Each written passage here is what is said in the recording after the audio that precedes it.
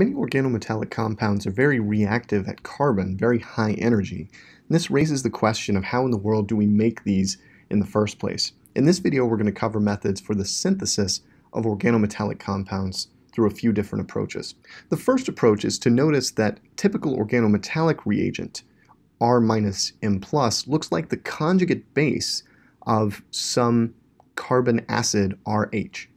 So for example, if we treat a hydrocarbon with a strong enough base to deprotonate it, we can generate an organometallic species in which the metal counterion that came along with the base gets together with R to form the organometallic species R M plus. And the mechanistic idea here is simply deprotonation. This extremely strong base, M plus B minus, deprotonates RH, B minus becomes BH, the conjugate acid of the base, and M plus gets together with R minus. This idea is very common in the synthesis of organolithiums, for example, where it often goes by the name lithium hydrogen exchange, since it looks like lithium Li plus is taking the place of H plus in the original hydrocarbon. And the base we often use is actually an organolithium itself. So this compound that you see being used as the base is butyl lithium, we often abbreviate it as Bu-Li, B-U-L-I, or as N-Buli, N for normal, since this is a linear chain of four carbons. And mechanistically, this is really just as simple as a deprotonation process. So the way to think about it is that the carbon linked to lithium is a strong nucleophile and an extremely strong Bronsted base at the same time. We'll return to this point again and again that strong nucleophiles are also strong Bronsted bases. And so if we hit this with an organic compound that has a hydrogen that is more acidic than an alkane hydrogen, which is almost anything, right? Alkanes are the least acidic groups in organic chemistry pretty much that we've encountered, then a deprotonation process can take place. This generates a carbanion here, and this also generates Li plus at the same time, and so we could draw the resulting product as we have here with a carbon-lithium bond, or a resonance structure that is honestly just as good and perhaps a little more illuminating is one in which we draw the phenyl fragment with a negative charge on the carbon that was deprotonated. Now notice this negative charge is associated with a lone pair living in a hybrid orbital on that carbon. The pi system of the benzene ring has been unaffected, and we also have lithium plus there. So this alternative resonance form is just as good to draw for the organolithium and helps us see that the essence of the process is simply deprotonation by butyl lithium. Notice also that this reaction generates butane as a byproduct. And the nice thing about butane is it's very volatile, so it's very easy to get out of the reaction mixture just by heating. It's also pure hydrocarbon, whereas this is strongly ionic, so we can use the polarity difference between butane and the organolithium to separate them as well. Here's another example where we're again using butyl lithium to deprotonate a hydrocarbon. Here, the most acidic position is a terminal alkyne proton. And this is a highly favorable process since the pKa of the terminal alkyne is about 25, while the pKa of butane, this is somewhere up about 50, right? So heavily, heavily favored. And the basic idea mechanistically is still proton transfer. So once again, we can draw a resonance structure in which we break the carbon-lithium bond, and we give both of those electrons to the more electronegative carbon, forming C- and Li+. We can also use butyl lithium to generate substituted organolithiums, like the compound you see on the right here. This reaction might look a little trickier than the ones above since we end up with lithium on oxygen rather than carbon, but a deprotonation at carbon has taken place. It's just that the anion we generate by deprotonating here is resonance stabilized, so we can draw a structure in which oxygen is negatively charged, and in fact the negative charge is shared between carbon and oxygen. And once again, if we look at the product, this is an intermediate that we'll call an enolate. Specifically, this is a lithium enolate. We can draw a great resonance structure where the oxygen is negatively charged and the lithium is positively charged, O minus Li plus, and this was generated by breaking the OLi bond toward oxygen, making it negative and lithium positive. Once we've generated an organolithium species, which is an extremely strong carbon nucleophile, carbon base, it's relatively straightforward to transfer the organic group to another metal. This is called transmetallation, and it's a common strategy for synthesizing organometallic compounds. Say, for example, we wanted to synthesize phenyl Grignard reagent, in which we've replaced the carbon-lithium bond with a carbon-magnesium bond, say magnesium chloride. The carbon in the organolithium is a stronger nucleophile and stronger base than the carbon in the Grignard reagent. We can tell this because lithium is more electropositive than magnesium, and so the carbon has more partial negative charge in the organolithium and is more nucleophilic as a result.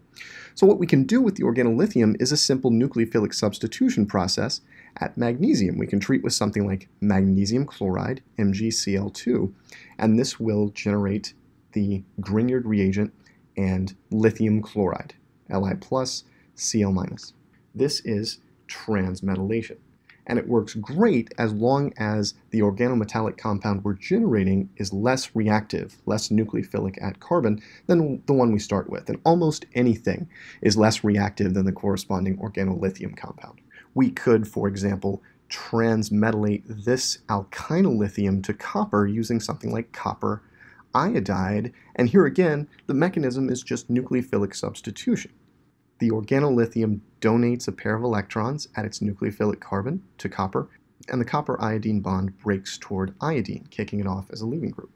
This generates the alkynyl copper species now, which is less reactive than the alkynyl lithium that we started with, as well as lithium iodide, Li plus, I minus. Transmetallation also works for other types of organolithiums involving, for example, resonance stabilization. So we could transmetallate this lithium enolate to something like zinc by treating with what we can kind of think of as a zinc electrophile like zinc chloride, ZnCl2, through a nucleophilic substitution mechanism again, where the oxygen acts as a nucleophile and the zinc as an electrophile, we generate a zinc enolate along with lithium chloride, Li plus and Cl.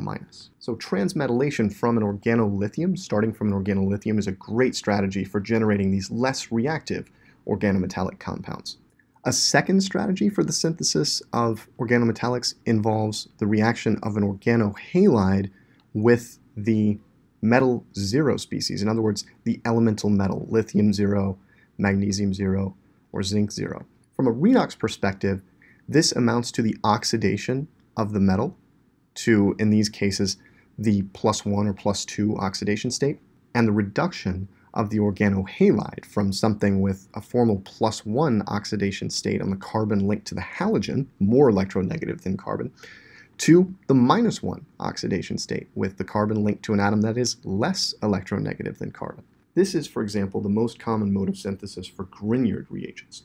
We start with the corresponding organohalide, and this can be, by the way, the R group can be alkyl, aryl, so aromatic, heteroaromatic, alkenyl, so a carbon-carbon double bond, or even alkynyl, so hybridization doesn't really matter here. This can be any organohalide, and pretty much any of these can be converted into the corresponding Grignard reagent just by treatment with magnesium metal.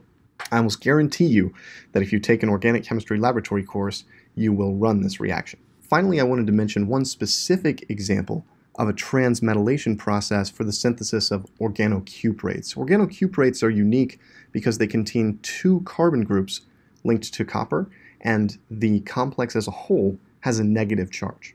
To do this, we use two equivalents of the strongly nucleophilic organolithium and a copper 1 salt.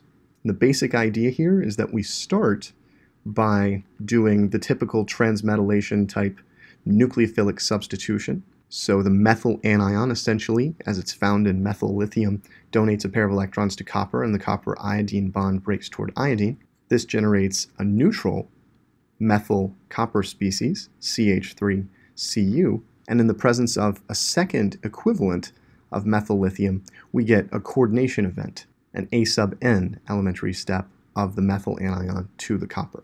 This gives an anionic copper species, that's why it's called a cuprate, containing two methyl groups linked to a copper 1 center, so the overall charge is negative 1, and to balance that charge, the lithium plus ion, which really came along for the ride with the second methyl anion is there as well.